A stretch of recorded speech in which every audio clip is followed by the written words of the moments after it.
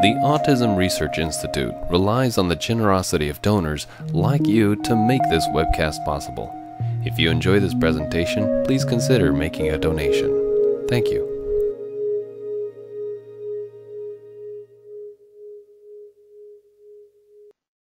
Now, before we get started, I'd like to introduce our speaker. Vicki Kobliner is a registered dietitian and nutritionist with years of experience in applying a functional approach nutrition. She develops individualized plans for clients, which are designed to promote wellness, prevent disease, and rebalance optimization of digestion and function. Vicki has extensive experience in using dietary modification, appropriate supplementation, and functional lab testing to achieve optimal wellness. These webinars are made possible through generous donor support, including a grant from Local 25 Teamsters in Boston, Massachusetts. If you'd like to contribute, please visit our website at autism.com. And now I will turn it over to Vicki.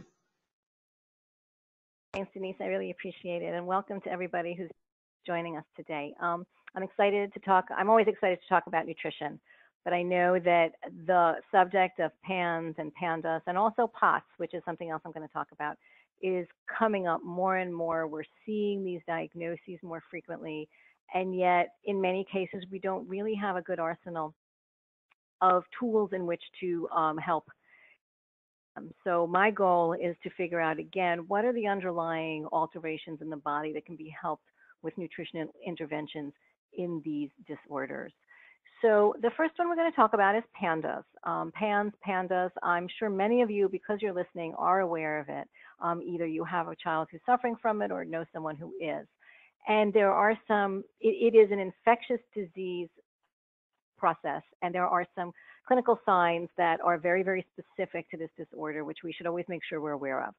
So PANS is defined as the presence of clinically significant obsessions, compulsions, and or tics or disordered eating unusually abrupt onset of symptoms or a relapsing remitting course of symptom severity. And so what that means is if you've had a child who's always been anxious and that's been kind of the way they've always been, this may not particularly be PANDAS, but if you have a child who wakes up one day, who has been relatively uh, developmentally, you know, typical, and then all of a sudden starts to show these signs, and parents will often say it was out of nowhere.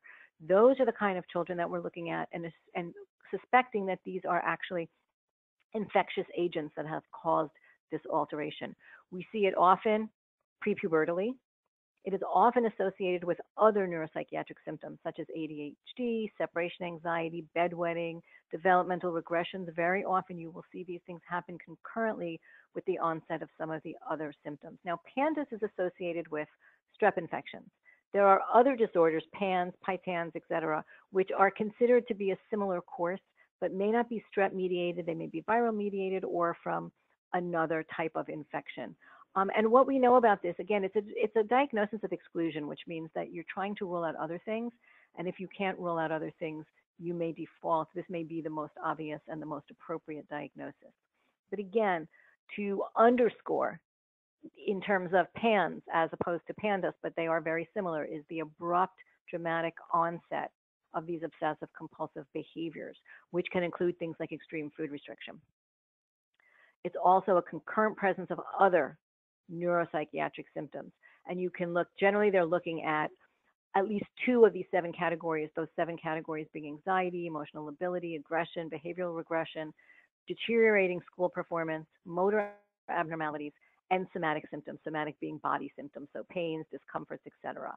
Um, symptoms are not better explained by a known neurological or medical disorder. So, for example, there is a disease called Sydenham's chorea, which does cause people tremors. You know, you want to rule that out before you decide that the tic is PANS or PANDAS based, but you want to make sure the child doesn't have Tourette's, for example. But if they're not presenting with those things and those are ruled out, then we look to PANS, PANDAS, et cetera, for a diagnosis. And the other thing that kind of really defines it is this relapsing remitting course. So again, child can get really bad, have a lot of symptoms, be very symptomatic, and then all of a sudden be doing well for a while, and then relapse again. Sometimes it's due to the onset of uh, of a germ, a virus, a bacteria, et cetera, that actually then makes these symptoms present themselves again. So one of the things we know from Sue Swedo, who's one of the primary researchers in this topic, is that we know that there's a broad spectrum of these neuropsychiatric conditions that we talked about, things like anxiety, et cetera, that are presumed to result from, and this is important, a variety of disease mechanisms and have multiple etiologies. So it's not always as simple as one cause, one result. There can be multiple causes that result in similar results, and they can be things like psychological trauma, underlying neurological, endocrine, or metabolic disorders, or a response to infection and neuroinflammation. So there are many different triggers that can result in this type of presentation. And some of the ones that we see the most often are things like infection, whether it be bacterial, viral, or some other type of germ. Now, again, in the case of pandas, which is strep mediated, we're looking at that bacteria, but there are other bacteria and other viruses that can cause PANS. We also see that food, environment, stress, and things like mass changes in mast cell function, other biochemical aberrations can actually trigger the same onset. So we have so much more research that needs to be done in this area. And we're really just learning about a lot of this, but these are the things we look to as some of the triggers for these diseases. Now, the treatment is divided um, into three parts. Antimicrobials, because we're assuming that most often this is some sort of microbe, whether again, virus, bacteria, yeast, etc., a pathogen. So we use antimicrobial treatment as a cornerstone of treatment. We also do things to modulate the immune system. Some of you parents are probably doing IVIG with your children. Um, we also look at psychotherapy because obviously we want to help with any of the mood and um, neuropsychiatric presentations. And all those pieces should be done at once. You don't want to do one and not the other two. It's really most effective when you're treating all three parts of this triangle at the same time. So, and this just reiterates what we just showed in that little diagram. So you want to treat the symptoms with psychoactive medications as needed, psychotherapies, including cognitive behavioral therapy, which has been shown to be one of the most effective, and other supportive therapeutic interventions. You also want to do antimicrobial support, removing the source of the inflammation, the infection, and adding antimicrobial interventions. And those can be prescript prescriptive, they can be herbal, but we want to make sure that we're doing antimicrobial support. And then you want to treat the disturbances of the immune system with immunomodulatory therapies and anti-inflammatory therapies. So get rid of the infection, calm down the inflammation that that infection produced, and support mind and body. So we also know that how to choose a treatment because it can be complex and we don't still don't have enough, as much information as we'd like. We know that the treatment has to be individualized to address the patient's primary symptoms, impairments, and course. So if a child's symptoms are OCD, we're going to be really looking to address those. If a child's symptom is anorexia, we may need a different treatment that deals more with food and food fears, etc. So some of that treatment must be individualized based on what their symptomatology is. And sometimes the only reason we know that it is PANS, PANDAS, etc., and that it's helping is when the neuroinflammation and the behaviors are resolved when we use these modalities. So there's not always a perfect, there is no really great test to test for this. Really what we have to look at is how a child responds to these interventions. So reinforcing that treating PANS and PANDAS is very complex and it's unique to each child. There's not a lot of research on diet here. There is some limited research, but not a lot. Um, there's also limited data regarding what specific nutrients would be helpful. So we often need to extrapolate that from other things. So for example, if we know that microbes are a problem and infection is a problem, we're going to use anti-infectives, antimicrobials, etc. But the actual studies that have been done specifically for PANS and PANDAS with antimicrobials, herbs specifically, have not have not yet been done in any large way. Um, and focusing on modulating the inflammation, addressing the microbes in the ways that we know work for the general population, but not necessarily have been studied directly with PANDAS and PANS. So for me, as a dietitian, my nutrition and dietary interventions are going to be based on these basic premises. I want to reduce inflammation. I want to reduce autoimmune responses. I'm not worried if it's specific to PANDAS or not. I want to just reduce inflammation. I want to modify any gut dysfunction that exists because gut dysfunction is so often, number one, linked to autoimmune responses and increased inflammation, but also when we're using antimicrobials, which are also often antibiotics, to treat PANS pandas, we're killing that good bacteria in the gut, which is so important for modulating inflammation. So there is a cycle there that needs to be supported. We have to help treat what we've kind of gotten rid of when we're treating the infection. We want to support the reduction of specific symptoms. As I said, if a child has OCD, we're going to use certain herbs, certain supplements, certain nutrients that have been shown to help with OCD. If the child is suffering from anorexia, we're going to be using some different ones because that have more specificity for that. We're going to manage strep and any other pathogens. We're going to try to use agents that kill that naturally. And we're also going to be targeting the child's food restrictions and any limited diet ensued, partly just because they may have another comorbidity and also partly because it's a result of this infection. So let's think again about some of the background. Active strep infections, for example, in pandas will lead to antibiotic use to kill the strep. So then when you then you have the strep infection, pandas results, you need additional antibiotics to treat the pandas. We know that the stress of the pandas negatively affects the gut microbiome, the good bacteria that live in the gut. So it's going to make the condition worse. Then we know that pandas kids very often have comorbid digestive problems such as celiac disease or dysbiosis, dysbiosis being that imbalance of good and bad bacteria in the gut. So we're seeing these comorbid digestive problems. So they have stress affecting their gut, digestive problems affecting their gut, antibiotics killing their good bacteria, and then the dysbiosis that results, the fact that they probably have not enough good bacteria and too much undesirable germs, then impairs immune function. And immune function is what we need to support in order to fight the pandemic. So it's a vicious cycle that we need to use all, all of our arsenal to address. Um, some facts that are of importance here are we know that 23 million Americans, or about 8%, have an autoimmune disease. So it may it's not as rare as many people think. We also know that 70% of our immune system is located in the GI tract. So much of that history, that autoimmune disease prevalence, may be linked to dysfunctions in the gut.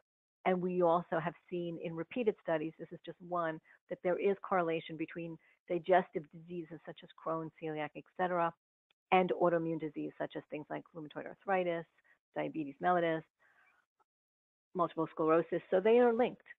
The gut and the immune function, the immune system are linked. And in pandas, this all comes to, and pans, this comes together very clearly because the gut is not functioning, the antibiotics reduce its function, and then we can see exacerbation of the inflammation. Um, so basically, one of the things we know is that when we work on improving digestion and we improve the balance of good flora, you will have a functional effect on immune and nervous system health. We know this. So in a case like PANS, PANDAS, or even POTS, we want to really work from the nutritional standpoint on balancing that gut flora and supporting digestion. So, as with autism, a lot of the goals are the same. We're targeting dysbiosis. We want to rebalance that microbiome. We want to make sure what we're feeding are nutrient dense foods because any stressed body has a much, much higher need for nutrients because they use those nutrients to help address the stress. We want to use rich, unprocessed plant foods, clean sources of protein and fat. We want to make sure that we're not giving junk, we're not giving artificial ingredients because those things can be very inflammatory. We want to use lots of anti-inflammatory compounds, whether they come from herbs or foods, but there's many, many in, in our diets and in our, in our pantries that we can use to support the reduction of inflammation. And for those people with reduced appetites and anorexia, a focus on a higher fat diet and frequent small meals is often very beneficial. So those are the focuses, the general focuses. So as I usually do, I break it down into phases. The first one being removing toxins. So what are the toxins in our diet? Pesticides, colorings, preservatives, sweeteners, all of these artificial synthetic additives, hormones, antibiotics, pesticides, all of those can be pro-inflammatory. In addition, sugar is one of our greatest the, the things that is most pro-inflammatory that we ingest. So using organic foods, getting rid of artificial ingredients, and removing sugar are some of the most powerful things you can do before you start on any type of special diet, so to speak. Those really can have a profound effect on reducing inflammation. So that's where you want to start. We want to add things that are pro anti-inflammatory as well. So something like bone broth. Bone broth is made from the long simmering, um, the long simmering of bones to make a broth. The bones, the broth has acid added to it. That's what makes it different from a typical stock. You add acid to the bones. What then happens is the acid will help leach a lot of the nutrients from the bones and it will go into the broth. So the broth is rich in collagen. It's it all, does have glutamine in it, which some people may react to, but in general, glutamine can be very healing to the gut. It's also richer in things like calcium and magnesium because they come from the bones. So bone broth can be a very, very soothing, healing to the intestines, and also nutrient rich. We also want to use fermented foods. And some people don't understand the difference between, say, a pickle you might get in the local grocery store and a lacto fermented pickle. But a pickle in the grocery store basically has been dipped in vinegar just to have that tart flavor, flavor and brine. Lacto fermented foods actually use natural fermentation processes to make that tangy, slightly sour, acidic flavor so that you see in things like sauerkraut and pickles. Um, kimchi, miso, those are fermented foods as well. Natural yogurt without the added sugars can be helpful for those who tolerate dairy.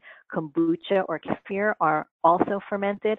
Any fermented food which is naturally lacto fermented is going to be rich in good bacteria and help colonize the gut. So they're a really great part of most healthy diets. In addition, we want to use things like anti-inflammatory plants. And there's many of those that we'll talk about in more detail as I go forward. And then antimicrobial foods, herbs, and spices. And you know, foods like garlic is a great antimicrobial, rosemary is a great antimicrobial. There's lots and lots of herbs and spices in our pantry that we can use to help. The other thing we want to do is remove foods that can be pro-inflammatory, gluten casein being two of the most common. And again, there is research, preliminary research that shows that gluten, especially, may be linked to things like both PANS, PANDAS, and POTS and that gluten intolerance is a problem there, and removing gluten can alleviate some symptoms. Again, the other thing we know about both gluten and casein is that we see increased antibodies to these, and the, those they can result in things that you know responses that impair cognition, focus, and relatedness. They do increase inflammation. We also know that there is some opioid activity that can be expressed because gluten and casein are both really similar to morphine, in their molecular structure, and they may cross the blood-brain barrier and act like an opiate. Gluten foods are also high in FODMAPs. FODMAPs are a type of food that can be inflammatory to the gut. They're also high in oxalates and lectins, which we also know can cause gut problems with the gut and problems with digestion. We also know that gluten interferes with something called glutamate decarboxylase, which you need to convert to GABA, and GABA is calming. So for children who are stressed or having OCD, we really want to get them calmer and we want to allow their body to do the normal process of moving glutamate into GABA, and gluten can interfere with that. We also know that milk protein is correlated with a number of different autoimmune diseases that can that will increase inflammation. So for many reasons, it's prudent to remove these two from the diet. And here is just one study showing the incidence of autoimmune diseases linked to celiac. So we see that gluten autoimmune connection right there. Once we've done that, then I start looking at other special diets, things like food allergens or histamines or glutamates, phenols, oxalates, specific carbohydrate or GAPS diet, or the autoimmune paleo. Those are just some of the many diets that people use to help reduce inflammation. And one of the things I want to be real clear about here is I think sometimes parents hear from their health cares or their other parents or support groups about a diet that worked for a specific child and they want to jump on that diet, understandably so. But it's really important to understand why you might do a certain diet, what the impact it has on your kids, and also very often what, what I am concerned with, and I just want to say this as a caution to all parents out there, I see parents who will layer one diet on top of another. So first they'll pull out histamines, then they'll pull out glutamates, then they'll pull out oxalates because they're worried that these are causing reactions.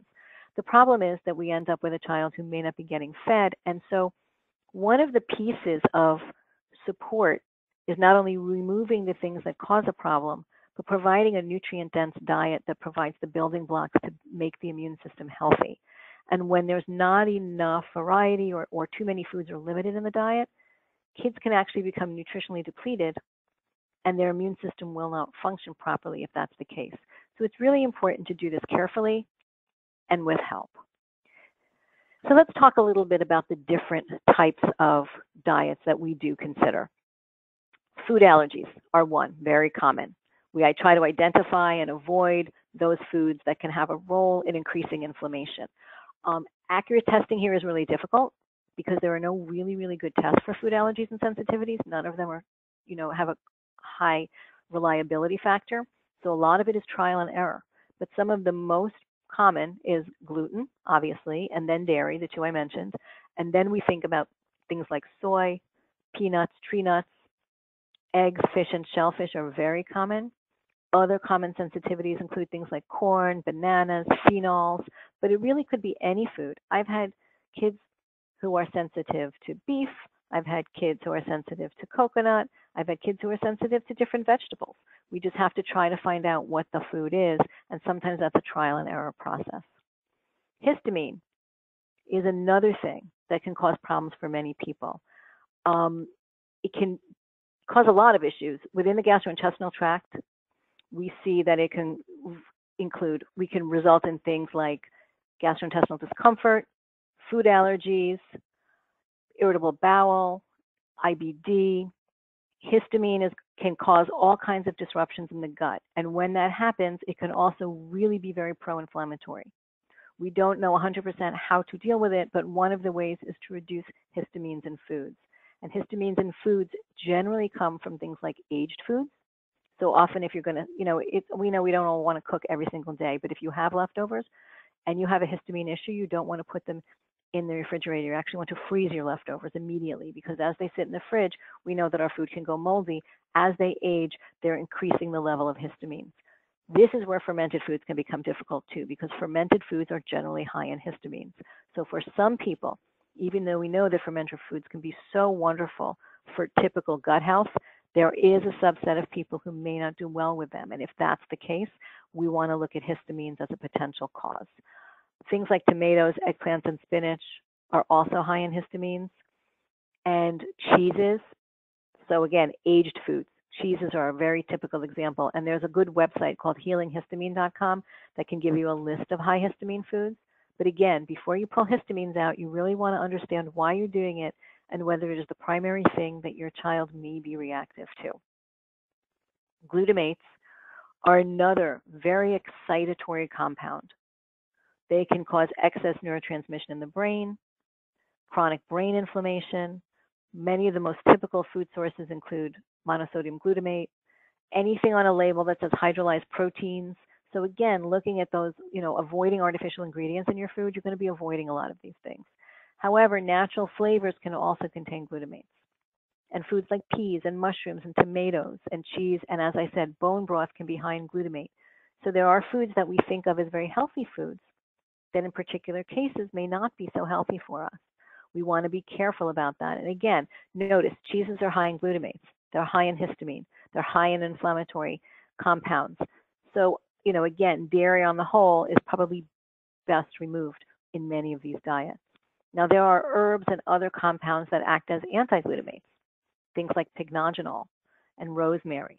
Lemon balm, magnesium, taurine, GABA, theanine, skullcap, and chamomile are some that act again as anti-glutamates and help can help support somebody who's having a problem tolerating glutamates. So we want to reduce the glutamates in the food and we want to add these anti-glutamate herbs and compounds so we can help support the body's ability to tolerate them. Another diet that we see very commonly used is fail-safe or other Feingold fail-safe, phenol and salicylate removal type diets. And these eliminate the things that you and I have, we've already talked about. Artificial food additives, colorings, preservatives, all that artificial stuff can be very excitatory. It's inflammatory. It drives up that inflammatory response, disrupts the immune process, and makes and stresses out our kids. Salicylates and polyphenolic foods and medications Now, this includes many fruits and vegetables. So it's not as easy as just saying, get rid of the artificial foods. There are many foods. polyphenols are found um, in almost all foods and some higher than others, but many fruits and vegetables are sources of that. So we have to be careful. There are specific lists of high salicylate and high to help pull those out of the diet. And I tend to always say we should be trialing these first because we want to try, see if we see an improvement when we take these foods out. And if we don't, then it may not be necessary to pull them out. Now, we find glutamates and amines are also triggers for phenol and salicylate problems. We've just discussed glutamates. We know that they can be problematic and they can be neuro, neuroexcitatory. So we want to remove those. And again, aged proteins, aged cheeses, aged animal protein, fermented foods are going to be the ones that are the biggest problem here. And then aromatic chemicals those beautiful scents in our perfumes, in our personal care lotion, things like that, in our candles, those actually are very problematic for many people and are unnecessary. So it's important that we get rid of those and just use natural products for cleaning and for home care and personal care. And then there are a number of medications that actually also are high in phenols and salicylates. Now, another diet that I utilize a lot in my arsenal is a low oxalate diet. Oxalates are molecules that link with minerals, such as calcium, most predominantly calcium, and they crystallize. And when they crystallize, they actually make sharp crystals. And those sharp crystals can exacerbate inflammation. They can actually be painful, physically painful to pass. Um, think about a kidney stone. A kidney stone is a type of crystal, and it's terribly difficult to pass because it scratches you up. Now it's painful. So we know that kids with leaky gut, again, dysbiosis, an imbalance of good and bad bacteria, are going to have increased oxalate absorption. We also know that low levels of lactobacillus, that good bacteria, reduces the body's ability to degrade oxalates and get rid of them. We also know that low B6 and sulfur, which are very common in kids on the spectrum, we don't have evidence about that for kids with PANS and PANDAS, but we can we can you know guess that it may be possible that they have that, but we do know that low B6 and sulfur does result in excess oxalates. So all of these things that increase oxalates are going to increase that crystal formation, cause pain, discomfort, can also affect brain health. Another diet that I use regularly is specific carbohydrate and or GAPS, and I put those together because they are based on the same principles and are quite similar in many ways. We use them when intractable yeast cannot be resolved with a low yeast diet or continued antifungal therapy. And again, remember, we're treating dysbiosis in these kids because that's the gateway to good gut health, and good gut health leads to good immune health. So anything we can do to help normalize the gut and maximize its function is, can be beneficial for immune modulated issues. With SCD and GAPS, we remove all grains and complex sugars that can ferment in the gut and feed the yeast. So it's not the same thing as just using gluten free grains. We're using no grains at all. The diet is focused on protein, vegetables, fruits, and healthy fats with controlled amounts of nuts and nut flours and some legumes as well.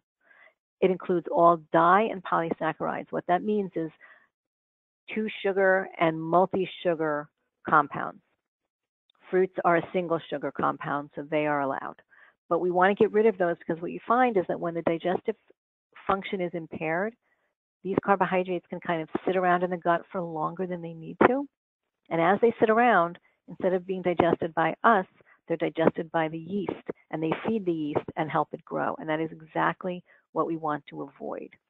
Now there was a recent there was a study done last year about the specific carbohydrate diet for pediatric IBD.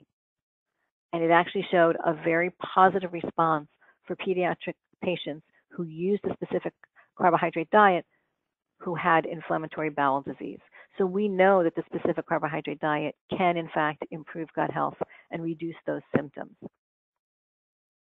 Another diet that I sometimes use is called autoimmune paleo. And again, autoimmune is in the name. This is a diet that people use who have chronic autoimmune diseases and cannot get, you know, and need to overcome the symptoms of that because it can be so debilitating. So it's a paleo based diet paleo being one that also gets rid of all grains, focuses on the things that our ancestors used to eat, which include animal proteins, lots of vegetables and fruits. It avoids beans, it avoids grains, anything that needed to be processed before cooking. Now, the autoimmune paleo goes a little farther because even within the paleo diet, there are foods that are considered somewhat inflammatory. So, not only do we get rid of all the processed foods and the grains, but it also gets rid of nuts and seeds because we know they can be high allergen. It also gets rid of beans and legumes, things like dried fruits, and even things like xylitol and stevia. Eggs are removed, nightshade vegetables such as eggplant, tomato are removed. Many some culinary herbs are removed as well as things like chocolate and alcohol and tapioca. So it is a difficult diet, it's quite limited, but it can have profoundly positive effects on somebody who's suffering from autoimmune disease. Now, with any of these diets, I really like to caution people, as I said before, there is a risk of providing a child with a limited diet.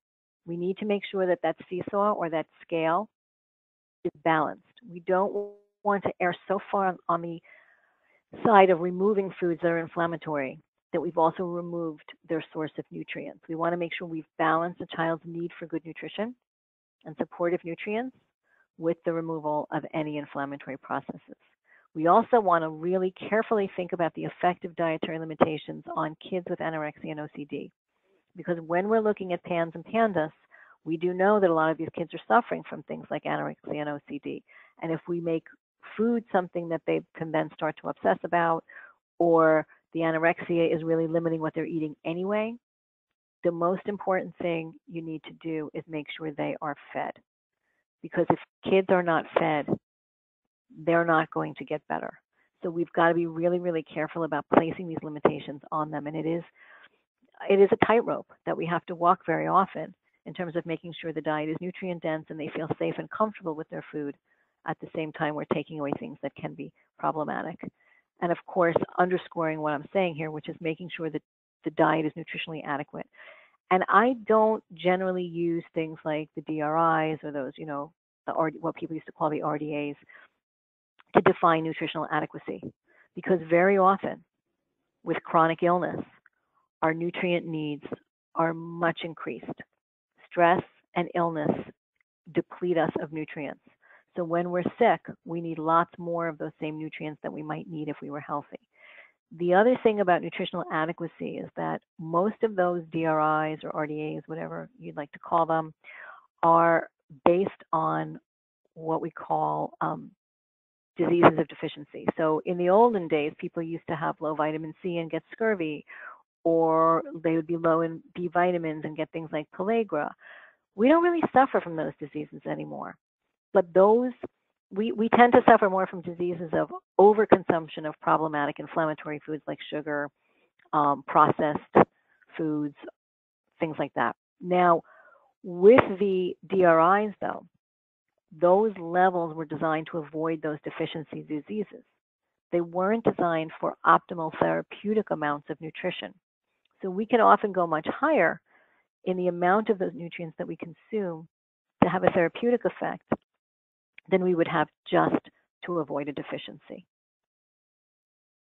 So I did want to touch a little bit also on anorexia in pandas and pans and the fact that we we have looked at kids with infection triggered anorexia, kids who had pandas pans, and they were able to improve when they used conventional treatment for anorexia with the addition of antibiotics, and that their eating disorder behaviors and their OCD symptoms decreased when they were able to get both antibiotics and supportive therapy.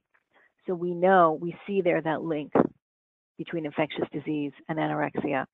And we have to be very aware of that in anyone presenting with anorexia, that there may be an infectious trigger here and it may not just be completely psychiatric in nature. So, in order to treat the gut, some of the things I like to use are probiotics, and I like to make sure they're very high quality. They are third party tested, every lot is tested, and the manufacturer follows good manufacturing principles. If not, you may be getting garbage because probiotic all supplements are unregulated in this country so we want we need to be very very careful about the source of our supplements both the brand names and where we get them, because counterfeiting of supplements is also rampant. In terms of probiotics, we want to use a multi-strain and a high dose. I also like to use Saccharomyces boulardii very often because Saccharomyces boulardii helps address yeast overgrowth in a more gentle way very often. And as it, at the same time, it supports gut mediated immunity and it also helps grow good bacteria. So it can be really, really helpful. Now, I get questions often about strep thermophilus. Strep thermophilus is a type of strep that we will find in a number of different probiotics. It is not the same strain of strep that we see with pans and pandas. So technically, it's not even, it actually is lacking a particular protein that causes the problem. So theoretically, strep thermophilus should not have a problem, should not be a problem for people who have pans and pandas. But anecdotally, I've heard enough parents say that they felt that when they switched to a strep free strain, their children did better. That I tend to recommend that we use a strep free strain of probiotic in kids with PANS, PANDAS, etc. But from a research standpoint, we do not have any evidence that really supports that.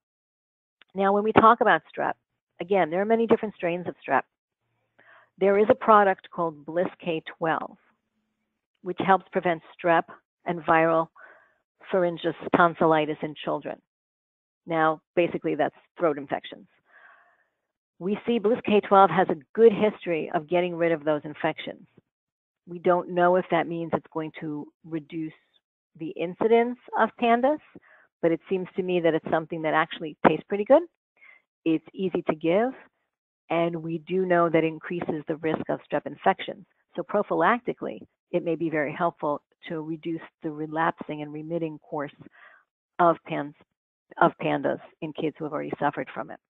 We also know that xylitol has anti-strep activity. Again, not the same type of strep.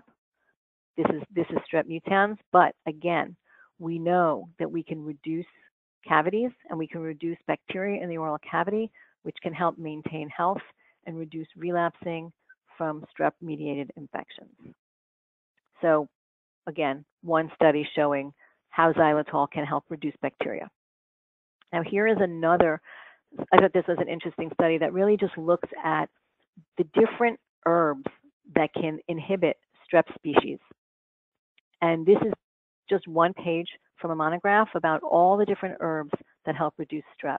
So once again, we know that utilizing herbs can be very helpful. And the one at the top there is ginger. And I love using ginger for many reasons, but it can be a very, very good antimicrobial. So let's talk about the herbs and spices we want to add to the diet. The ones that are anti-inflammatory and the ones that are antimicrobial. So reducing inflammation and killing germs. Curcumin, ginger, garlic, cinnamon, and parsley are some of my favorite anti-inflammatory herbs, and they can be used liberally. People also take them as supplements, but please use them freely in the diet. Cook with them generously, make lots of foods that are rich in these compounds. In terms of antimicrobials, oregano, cinnamon, garlic, rosemary, berberine, grapefruit seed, and olive leaf are some wonderful, wonderful antimicrobial herbs. Now you'll see cinnamon and garlic are both anti-inflammatory and antimicrobial. A number of these herbs go both ways, but garlic and cinnamon particularly can be good for both, and they're wonderful herbs to use, to use regularly in the diet. Now, for kids with anorexia, an appetite stimulant can be very helpful, and things like mint, spearmint, and peppermint, things like bitter melon and barberry are also good. Bitters can actually improve appetite, so even though we don't always love the way they taste, a little bit of bitters can help to improve appetite. A couple of research studies point to the powerful, powerful effect that curcumin can have on inflammation. And, you know, if you did a literature search, you would find many, many papers that discuss this. But curcumin is a powerful anti. We also know things like moving away from herbs and looking at nutrients, things like zinc, copper, manganese, iron, calcium, and magnesium. So minerals, minerals can really impact OCD behaviors. And when people are supported with good mineral support, sometimes we see that some of those behaviors can either reduce or resolve. B6 has been used in the treatment of Tourette syndrome. So for those children who are ticking, we might want to consider magnesium and B6 in therapeutic doses for them. Inositol is another B, B vitamin derivative compound. And we know we have, we have studies that show that when we use inositol to treat OCD, we see reduction in symptoms. Now, we, it's a very high dose. 18 grams per day was the dose used in this study. Um, but using an inositol can help with OCD behaviors in some people. Tryptophan is an amino acid, can be very supportive in helping resistant OCD. Again, very, very small study, but it had good response. N-acetylcysteine, another compound, helpful in refractory treatment of OCD. So there are many, many nutrients and many herbs that can be helpful. Omega 3s, again, powerful anti inflammatory activity. And we have seen benefit in the, with the use of omega 3s in Tourette's. So for ticks, we may want to consider essential fatty acids. And in everybody, essential fatty acids can be helpful in reducing inflammation. One of the other things I'll throw out there that we don't have any direct research with PANS and PANDAS on is the therapeutic potential of helminths in autoimmune disease. There is a, a, lot of emerging research about the role of helminths in autoimmunity. And anecdotally, we hear many parents talking about their benefit. Of course, you want to only use them under the auspices of a good. Do you have some some may have some role in helping mediate these autoimmune disorders? Now, other options that are often used, I, I found less clinical evidence for them, but they, uh, for PANS, but they have been used with some success in pandas. Things like lecithin, L-carnitine, transfer factor, 5-HTP, taurine, grape seed extract, neem. Neem is another one that's used fairly often and can be quite helpful. Um, and mast cell stabilizers, because again, mast cells are involved in the inflammatory process. And so when we stabilize those mast cells, we can also help reduce some of that response. So in summary, we don't really have enough clinical evidence to define a PANDAS PANDAS protocol nutritionally, but if we use good clinical judgment and we use the tools we know to address the symptomatology, we can still provide help and relief for kids' symptoms. The diet has to be nutrient dense, unprocessed, whole, free of food allergens. We have to use gut healing modalities. We need to address the strep, other pathogens, and other stressors add immune modulating foods and herbs, and then replenish depleted vitamins and minerals. And that would be the protocol and the standard by which we would evaluate any diet that we were going to want to use for a child who was suffering from one of these things. Now, I also wanted to talk about POTS and dysautonomia briefly. It's a different disorder, but we're seeing a lot of similarities here. What we're seeing, for those of you who don't know what POTS is, it's postural orthostatic tachycardia syndrome, and it is a type of dysautonomia. Dysautonomia meaning your autonomic immune, uh, your autonomic system is not working properly. Now, the autonomic nervous system is the one that regulates things you don't think about, things like breathing and heart rate and digestion. You don't spend your day saying, okay, I have to digest my food now. It happens naturally. So when nervous system is dysregulated, we see changes in blood pressure, we see abnormal heart rate, blood pressure, changes in digestion, body temperature alterations, pupil responsiveness, poor response to stress and sweat and things like that. We also see what we call orthostatic intolerance, which means dizziness, lightheaded, fatigue, nausea, and perspiration. And that has to do with when you rise from from laying down to standing when you get dizzy, that's your orthostatic balance. Um, we also see abdominal pain, diminished cognitive function, tremors, headaches, and sleep disruption. And there is some evidence that B12, which supports adrenaline, um, can help because, again, the adrenal system is also part of this autonomic response. And when we support the adrenal, sometimes we improve it. But there is a lot of evidence um, that POTS is also autoimmune in nature. So we're going to cycle back around to the whole concept of auto, autoimmunity and how we need to work with that dietarily and nutritionally. Now, the standard protocol for POTS is really one that focuses very much on hydration because fainting is a big problem here and the, that lack of regulation of the nervous system. So hydration, avoiding prolonged sitting. This is the standard protocol you can read about. Um, avoiding warm environments that make you sweat too much. Minimizing any medications that dilate your blood vessels because when you dilate the blood vessels, it also reduces your blood pressure. We want to make sure this is a, this is a disorder where salt intake is important and lots of salt is helpful to, to keep that blood pressure up. Alcohol worsens symptoms. Very many people may use things like support or pressure garments, again, to make sure that we're keeping that blood pressure, you know, we're keeping pressure against the blood, the vessels. We also need adequate sleep, and keeping the head of the bed elevated helps when you rise in the morning from having that dizziness. And avoiding stress as much as possible is very important. Now, other considerations in addition to the ones that we mentioned. Some of these repeat them, we also add a few. So increasing fluid intake is absolutely essential.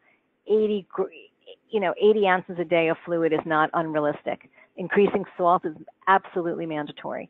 So these are things that we don't necessarily see in some of the other disorders, but that are very, very important in POTS. Making sure that the blood pressure remains elevated or, or normal, you know, elevated from, from the dysautonomic normal, which is low. Avoid standing or sitting for long periods using those compression socks, getting adequate sleep. I exercise though is also very, very important. Most people with POTS are so exhausted that they have trouble exercising, and so they need to start very slow. But exercise actually helps blood pressure and helps to maintain the the good the the normal blood pressure. Um, in terms of diet, we also look at things like avoiding processed foods, avoiding artificial foods and artificial sweeteners because those things can also cause inflammation. And if we're looking at POTS as being autoimmune in nature and inflammatory in nature, we want to reduce those. We know that B12 again supports adrenaline, and we see that it can improve fatigue and brain fog. But we also know that iron and minerals, things like zinc and magnesium, may be effective in supporting some of these issues. Now, magnesium is often depleted in people who are stressed or ill. So that's one of the reasons magnesium may be very helpful. In addition, we want to use antioxidants. Anything that's going to reduce inflammation may be helpful. And these considerations come from Jeff Boris, who is who runs the POTS clinic. He's the MD that runs the POTS clinic at Children's Hospital of Philadelphia, and he is one of the premier experts on POTS at this time. Now, in terms of nutrition goals, yes, we have to admit treating POTS is complex, and we don't know a whole lot nutritionally about what to do the role of diet requires a lot more research. And other than managing fluid and you know the potential data regarding specific nutrients, but there is some. So again, we're extrapolating some information from other disorders, but we do have some information about POTS. The focus in this case has to be on maintaining blood pressure and supporting the adrenal system because those are the two things that really are the most disrupted. And then because of their impact on other things, they can have far-reaching, far-reaching effects on how the person is feeling.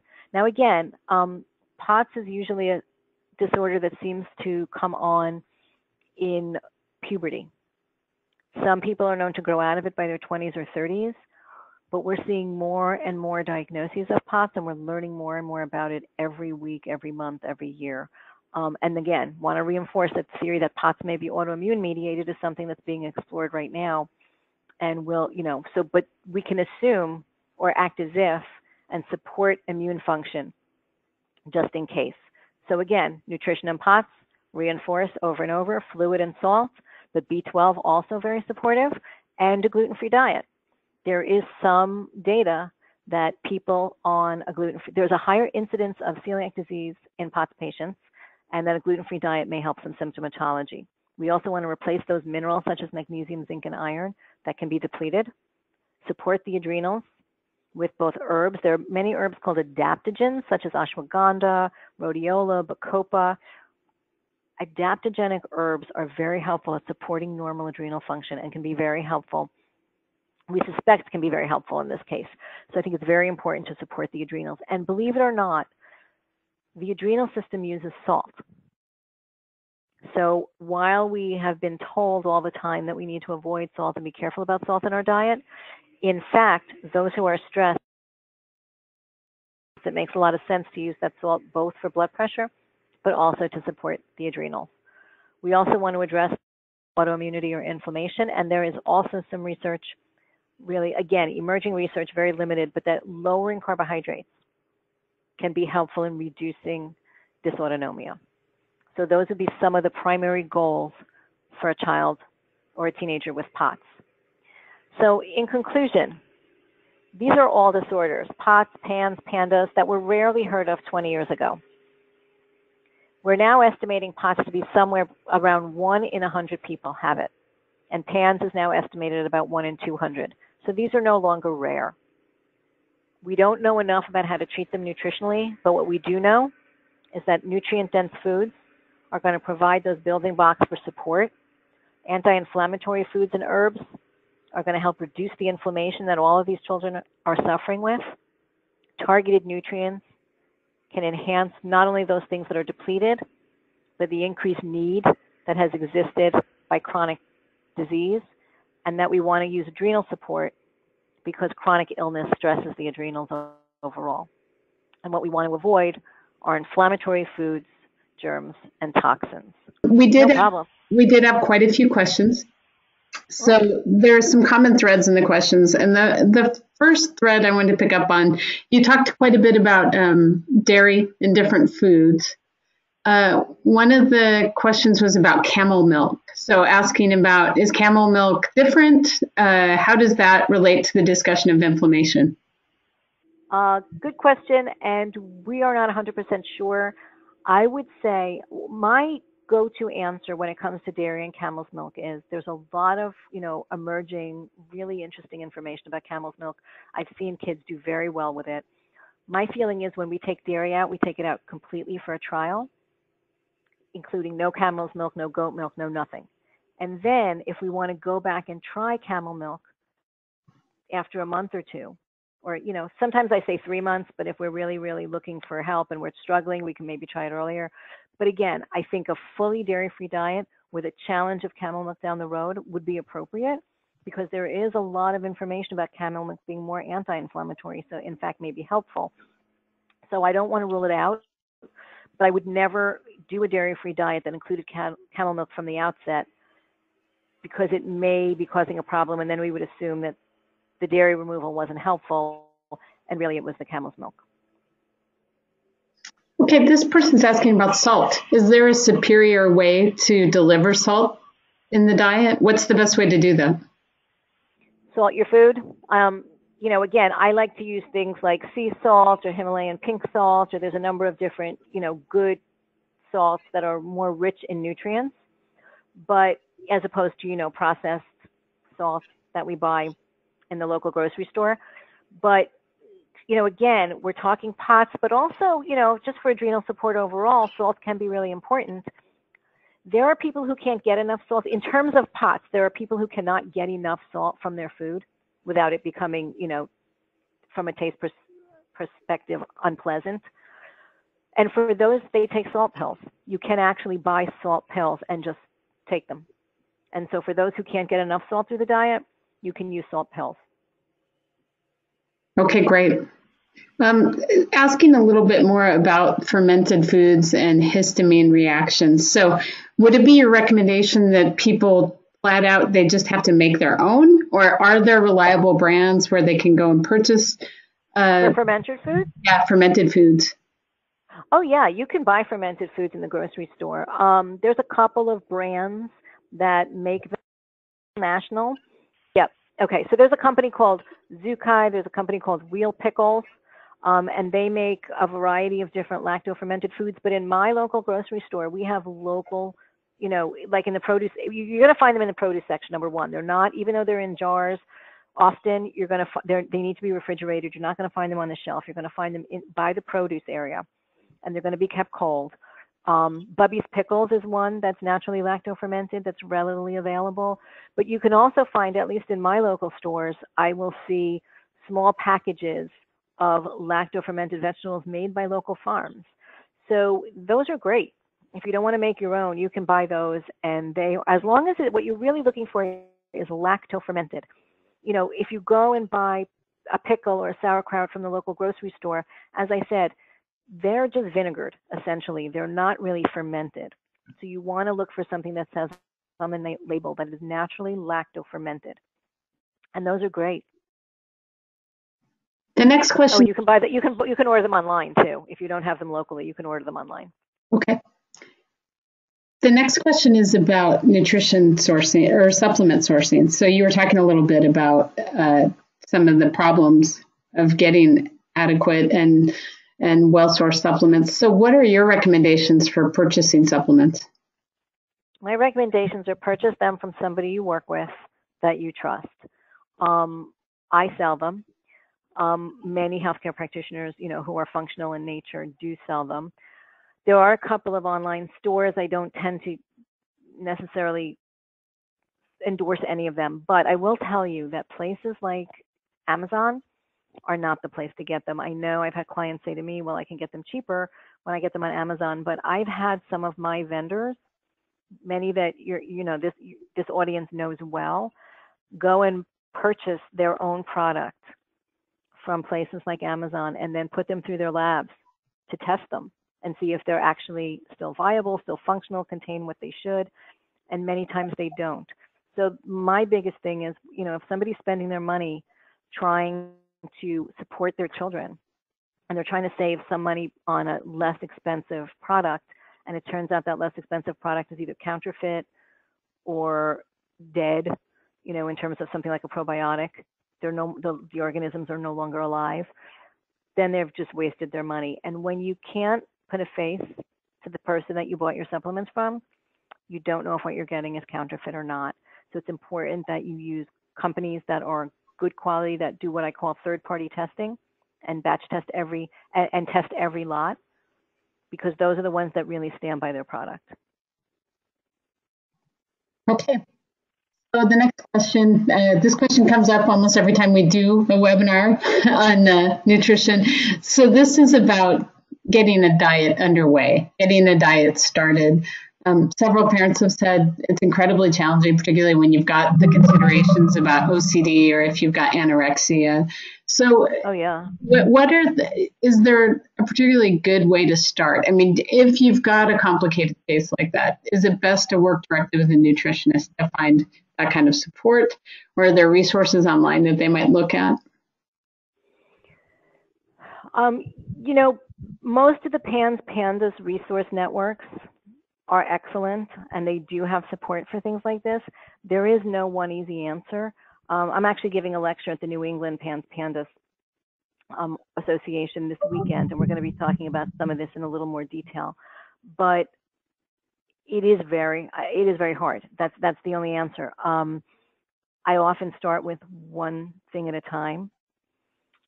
Using CBT can be really helpful to help address cognitive behavioral therapy to address some of the fears around food. Again, really focusing on what's the most nutrient dense thing I can give somebody. So if they just simply need calories, if we've got anorexia going on and they're really low in calories, we're going to be trying to get more fat into them. Um, if they drink, let them drink. If they chew, let them chew. If they um, only like certain textures, focus on those textures. If there are certain flavors that are more acceptable, then focus on that. If the food needs to look a certain way, you know, we try to help it look a certain way. But the same way we treat or we address the OCD that that manifests itself in other ways, we have to use that for the nutrition piece too. So what is going to make them feel the most safe? If it has to be on a particular plate, if it has to be in a particular room, we're going to try to do that as much as possible.